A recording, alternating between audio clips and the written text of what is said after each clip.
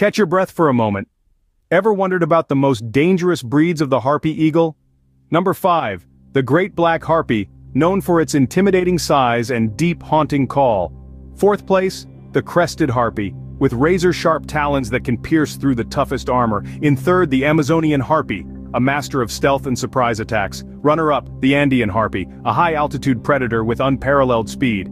And the most dangerous of all, the Royal Harpy, crowned for its lethal hunting prowess and sheer strength. Surprised? Thought so? Remember danger often comes with awe-inspiring beauty. Before you fly off, don't forget to subscribe to our channel. Stay tuned for more breathtaking revelations.